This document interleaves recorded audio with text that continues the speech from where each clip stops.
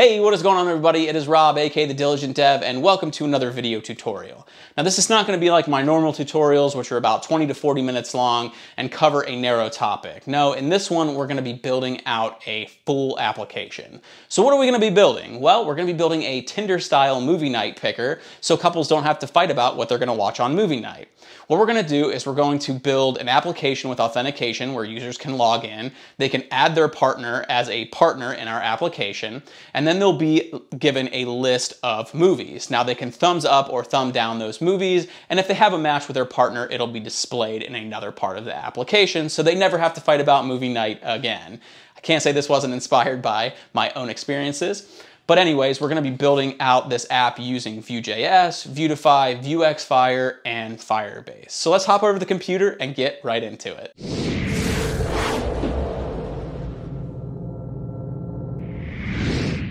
Okay, so here we are over at the computer, and in order to create our project, we're gonna be using the Vue CLI. So if you don't already have it installed, you need to install it. And to do that, you run the following command, npm install dash g for global at vue slash CLI. Now I already have this installed, but if you don't, go ahead and pause the video here and install it. Once you have it installed, we're going to run the following command, vue create movie night picker. We're going to choose manually select features, and we're going to select Babel, router, Vuex, and we'll leave linter and formatter selected, and we'll hit enter. It's going to ask us if we want to use history mode for the router. We'll say yes. We're just going to ESLint with error prevention only. We'll lint on save. We're going to store these in dedicated config files, and I am not going to save this for future projects. And once this is done installing, I will be right back. Now that everything has installed successfully, we can go ahead and add Vuetify to our project. So in order to do that, we're going to cd into Movie Night Picker, or what you can do is just copy this line, paste it in, and then we're going to run the following command, vue add Vuetify.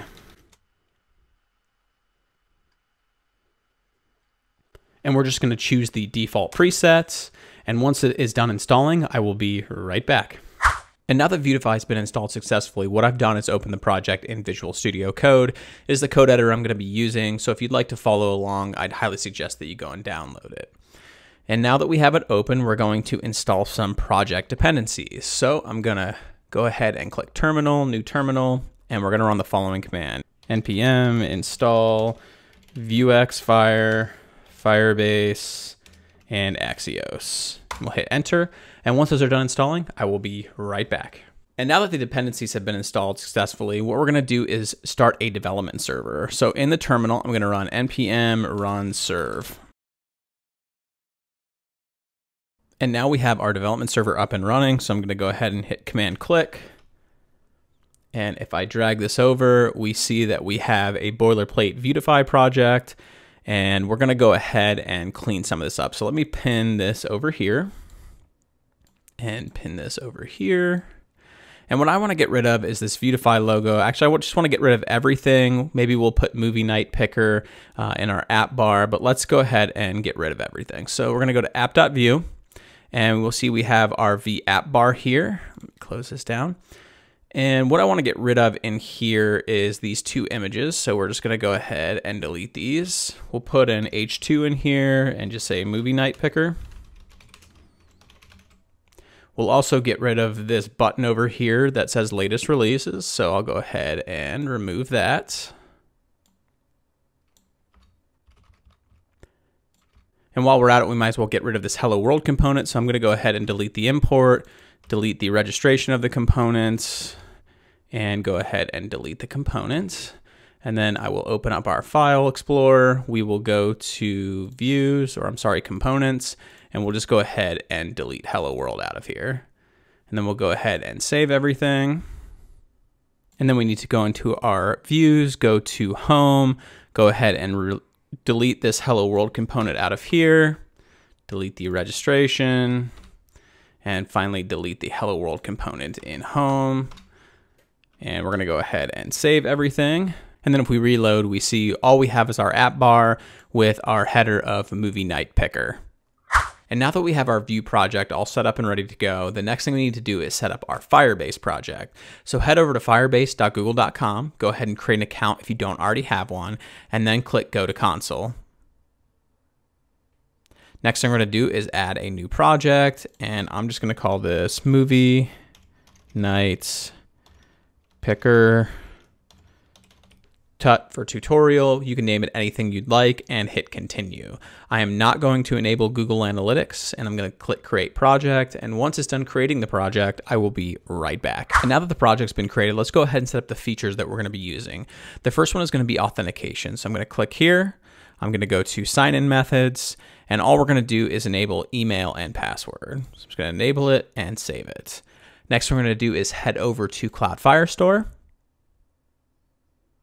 I'm going to click create database. We're going to start in production mode and we'll just pick the default server.